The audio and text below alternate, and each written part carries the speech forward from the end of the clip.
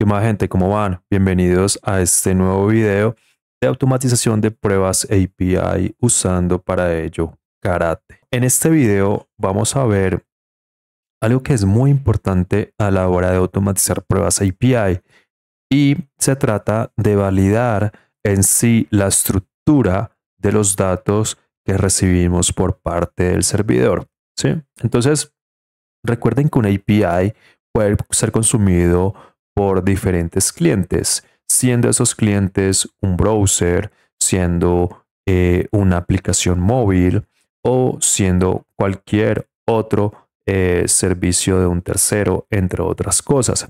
Entonces los datos y la estructura en sí de la respuesta tiene que ser consistente. ¿Esto qué es? Que por ejemplo, si yo en la respuesta espero que el campo en nombre sea un string, pues la idea es que ese campo siga siendo un string. Para eso existen algo que se llaman los contratos. Entonces yo espero que em, también, claramente, que ese campo sea retornado, ¿sí? que nombre siempre venga o el ID de la persona es un campo numérico. Entonces también espero que el campo sea numérico y que siempre esté presente. ¿Listo? Entonces vamos a ver cómo con Karate puedo hacer ese tipo de validaciones sobre los datos que obtengo desde el servidor. Entonces, vamos a añadir un nuevo escenario. La idea es que los escenarios estén alineados. Em, también acá, digamos, sobre esta línea, a ver si me explico. Aquí tengo escenario, entonces la idea es que estén alineados. ¿Listo? Escenario. Entonces vamos a ver va a ponerle validate response structure. Vamos a ponerle por ahora así. Pero básicamente es validación de tipos de datos. ¿Listo? Entonces vamos a usar este mismo test que tenemos acá. Vamos a ir simplemente hasta la parte donde dice then status 200. Entonces voy a copiar esto acá. Listo. Ya tengo ese mismo test que simplemente va a añadir una nueva mascota. Entonces vamos a venir acá donde dice Add New Pest Store.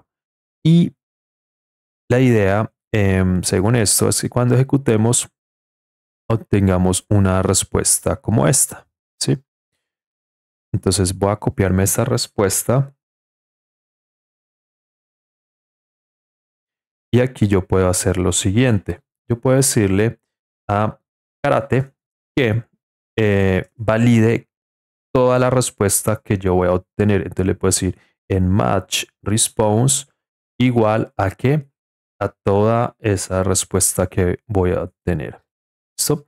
En teoría, estos son los datos que me va a responder el servidor una vez yo haga esta petición. Entonces, vamos a ejecutar nuevamente el pets runner y ahí vemos que el test falla. Vamos a abrir el reporte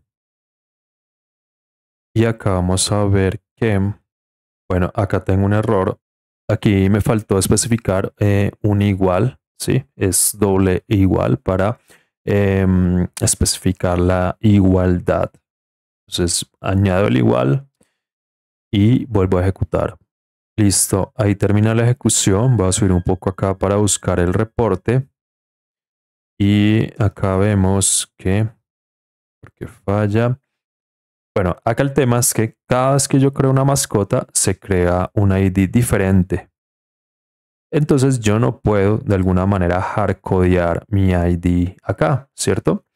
Entonces lo que yo sí espero es que venga un número. ¿Listo? Entonces yo con la siguiente, especificando eh, numeral number, lo que yo le estoy a Karate es que yo no sé el número que va a venir, pero yo espero que venga un número. Y lo mismo puedo hacer con los string. Entonces yo puedo decirle aquí numeral para nombre, yo espero que sea un string. No sé el dato que me va a retornar, pero espero que venga un string. ¿Listo? Entonces, bueno, vamos a ejecutar nuevamente ese test. fíjense que ahora el test funciona y voy a entrar acá. Y bueno, aquí ya puedo ver que pues la aserción fue exitosa. Em, lo mismo, a mí siempre me gusta hacer fallar los tests. Entonces en ID en vez de decirle que espero un, eh, un número, va a decirle que espero un string y vamos a ver qué sucede. Ahí termina la ejecución. Vamos a subir un poco. Vamos a abrir el reporte y vamos a ver aquí qué pasa. Entonces acá, bueno, aquí falla y dice que ID no a string y que es un number. Entonces em, aquí podemos ver claramente el fallo, ¿sí? que pues claramente el valor que obtuvimos es un número y nosotros en nuestra expectativa pusimos que esperábamos un string. Vamos a volver a poner como estaba.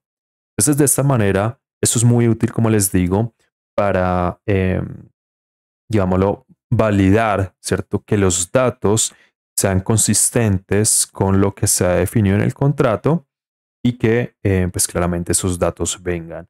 Hay otra eh, función que podemos usar y es cuando queremos validar que el dato por lo menos venga, ¿sí?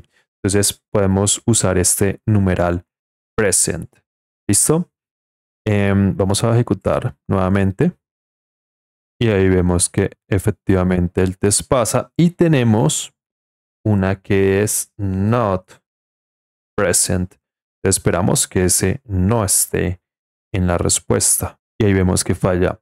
Un caso, que, un caso de uso que le puede hacer este not present es, por ejemplo, en algún momento un campo fue usado y después ese, esa API, o mejor dicho, ese campo fue deprecados, fue eliminado, entonces con esto yo puedo validar que pues que se siga manteniendo, ¿no? Que ese campo que, que fue eliminado pues se mantenga en ese estado. Y bueno, pues acá claramente em, digamos que eso tuvo un string, pero lo que esperábamos era que el campo no fuera devuelto. Como les digo, esto puede ser útil cuando queremos realmente validar que cierta información no se encuentre dentro de la respuesta. Nos vemos en el siguiente video. Hasta pronto.